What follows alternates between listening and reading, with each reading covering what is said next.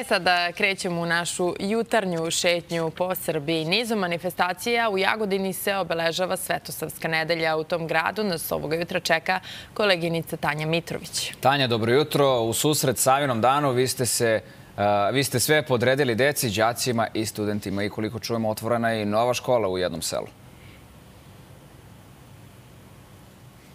Dobro jutro iz Jagodine, dobro čujete. Otvorili smo na početku ove Svetosavske nedelje, tradicionalne nedelje koje se godinama unazad e, sprovodi u Jagodini kao velika manifestacija u susret Savinom danu i novu rekonstruisanu školu. Naime, reč je o školi u selu Staro Lanište. E, ova škola zove se Ljubiša Urošević e, i pohađuje deca iz ovog sela, njih 36.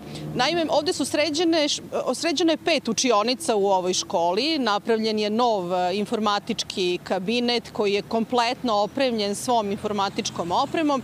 Napravljena je i nova fiskulturna sala u kojoj se nalaze celokupna sportska oprema koja je potrebna da bi deca tokom hladnih meseci tu vežbala, ali i ostali meštani mogu da je koriste, kako su nam rekli.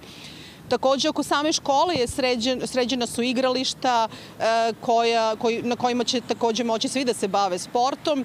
I e, kuhinja je tu, a što se tiče najmlađih i na njih se mislilo, e, renovirano je potpuno odeljenje u kome su predškolci koji će sledeće godine, zapravo ove od septembra, krenuti u prvi razred baš u ovoj školi I eto, to bi otprilike bilo to, plus, evo, još nešto da kažem u vezi ove rekonstruisane škole, tu je i ambulanta. Ambulanta će raditi za sada dva puta nedeljno. E, meštani starog laništa moći će ovde da se pregledaju kod lekara koji će po potrebi dolaziti i češće. E, ono što je jako bitno da će se smanjiti i one gužve koje su se pravile u, ovde u Jagodinskom domu zdravlja jer će sada tamo moći meštani starog laništa da dobiju terapiju. Svetosavsku nedelju nam je obeležila još jedna predivna vest koja se odnosi na đake, ovoga puta na one malo starije, to su studenti dobili smo jednu jako lepu informaciju da će nakon dve godine pauze zbog korone ponovo e, studenti koji studiraju u Jagodini i oni e, jagodinci koji studiraju u drugim gradovima nisu do sada putovali polovinom marta ići za Beč.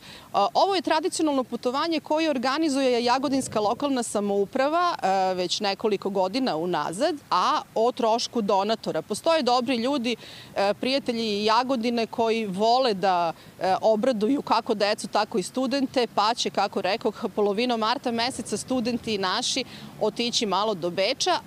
Ta ekskurzija je potpuno besplatna i poklanja je grad svim e, budućim akademskim građanima. Svetosavska nedelja u četvrtak e, kaže da će nam ovde u Jagodini biti i jedna lepa svečana akademija kada nam dolazi vladika šumadijski gospodin Jovan.